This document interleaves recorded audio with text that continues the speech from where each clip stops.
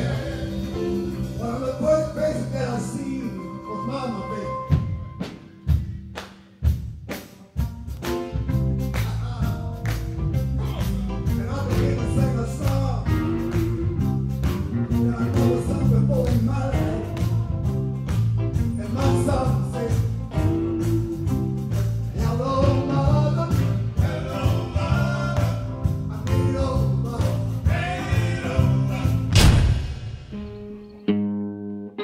My name is Rita Chiarelli and I sing the blues.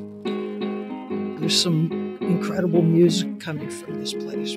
The songs that I heard, you know, they were raw and real, just totally moved me.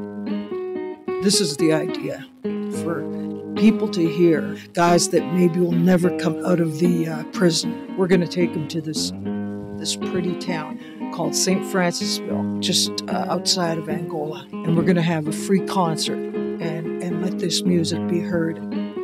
Wait till you meet these guys. How you doing? Hey Ray. How you doing, man? How are you? How you doing,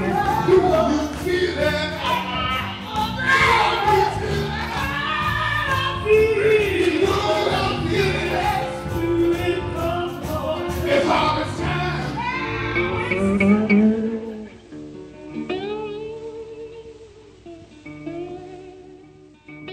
I've been here since I was 17. My head was messed up and everything, and was hanging around with the wrong people.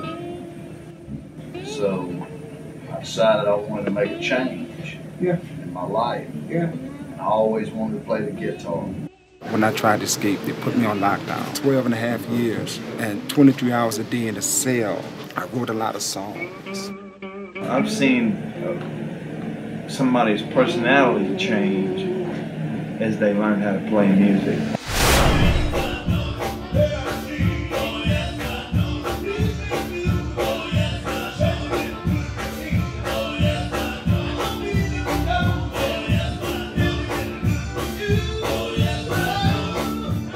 Now, the rest of the country might not think they deserve a second chance.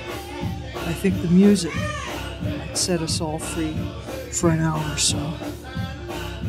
Music helps me escape.